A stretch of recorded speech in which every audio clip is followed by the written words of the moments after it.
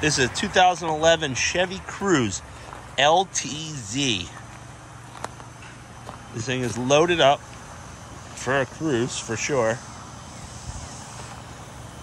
Got the alloy wheels. Real clean body. Couple marks, I'll show them to you. Got nice leather interior. Sunroof. Got your CD player, cruise control, all the power equipment, traction control.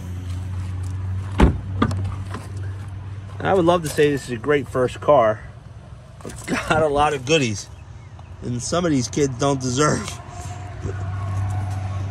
But maybe you want to be parent of the year. It's great on gas, super reliable, low miles, only 114,000 miles. Here's some of the blemishes. Got a little bit of paint, oxidation there on the back bumper.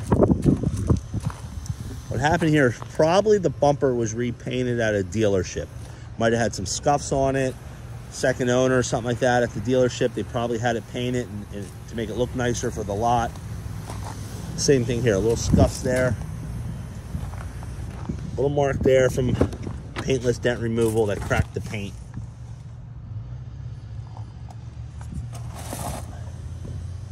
But the interior is really clean. But most importantly, mechanically, very, very sound. Checked out really well. PA inspected until January of next year. Got a nice Pioneer stereo. A little wear down there on the floor mats, but they are just the floor mats. No lights on the dash. I have it running.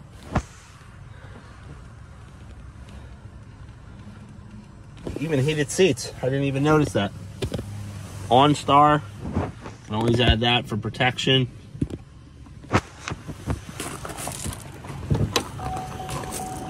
Show you under the hood. Like I said, nice, nice 18 inch tires, wheels, inspect it. Whisper quiet. But these Ecotecs, they're known for that. They're, they're nice, reliable cars.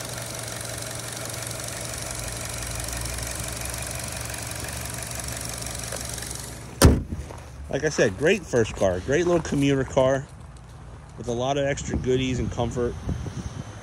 Like and subscribe. See the new cars coming in.